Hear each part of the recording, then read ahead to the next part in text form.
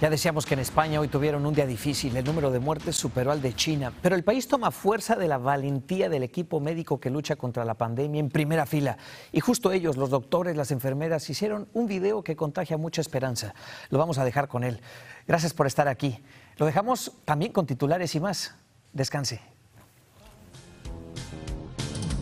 Cuando sienta miedo del silencio cuando cueste mantenerse cuando se revelen los recuerdos y me pongan contra la pared, resistiré.